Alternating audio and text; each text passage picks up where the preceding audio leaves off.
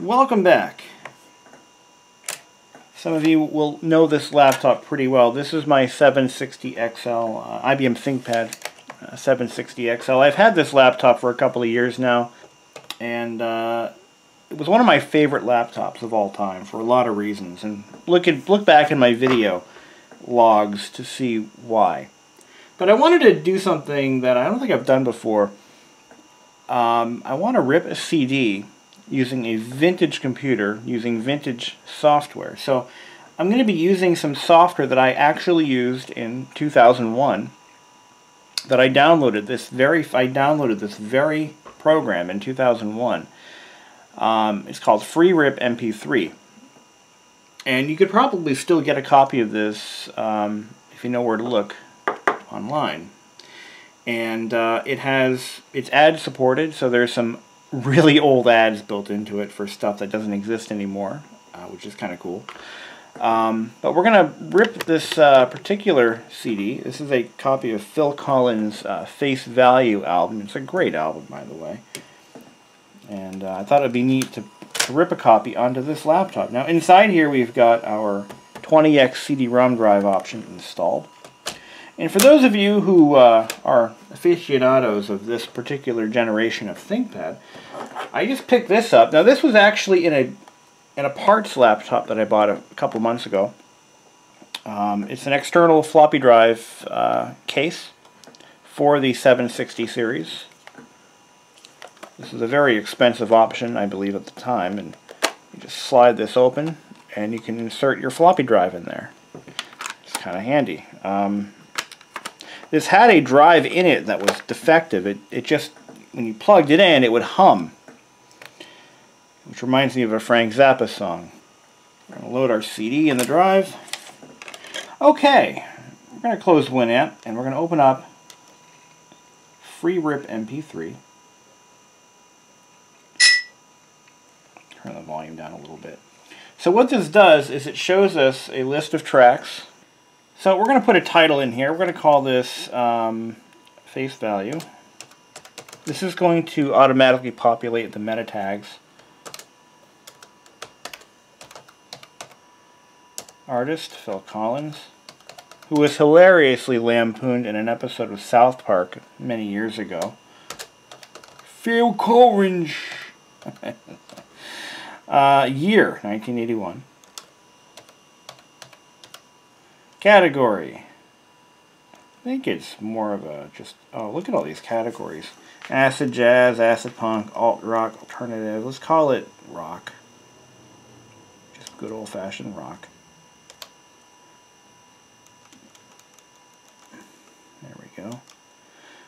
And I think we can name the tracks at this point too, if we want to. Yeah. Oh, there we go. So track one I'm going to just go through and name these. I'll read them off. In the air tonight. Track 2. This must be love.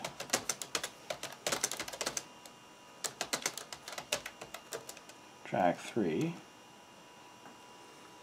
Behind the lines. Track 4. It's amazing going from a, a modern day MacBook keyboard to this. Um, this keyboard has a lot of travel to it. When I was um, in school, I preferred this keyboard over all others because it just had a very good feel to it. But then again, you know, but I'm actually liking my MacBook keyboard, believe it or not. The roof is leaking.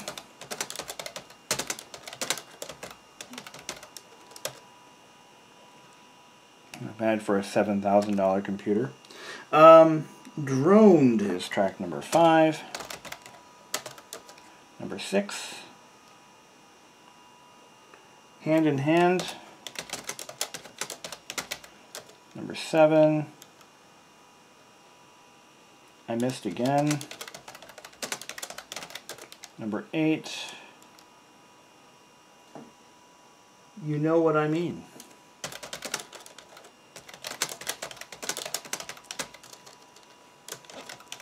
I missed again. The shift key? I missed the shift key. Yeah, the joke. not a good one. Um, track 09, Thunder and Lightning.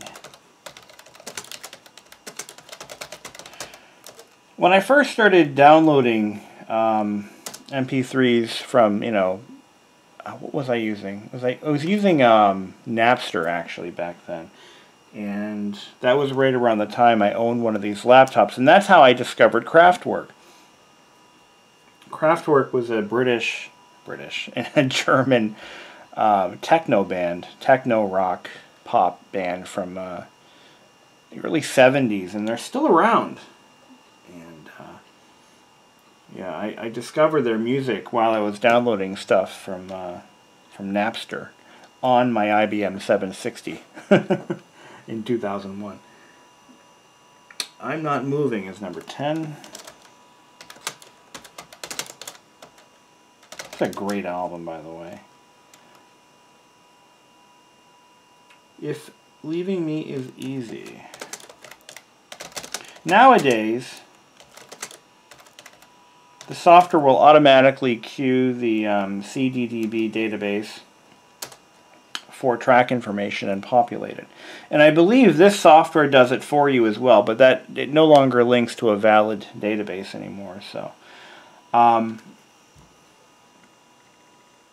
yeah, there's a query CDDB option right here. So this button's for, but it doesn't do anything anymore. Tomorrow never knows. There's one M in tomorrow. Okay, so now that we've named all of our tracks, we're going to rip them. Oh, we got to select the tracks we want to rip, so that would be all of them. Okay. Uh -huh, uh -huh. There we go. And off we go. Ripping CDs the old-fashioned way. Just like Grandpa used to do.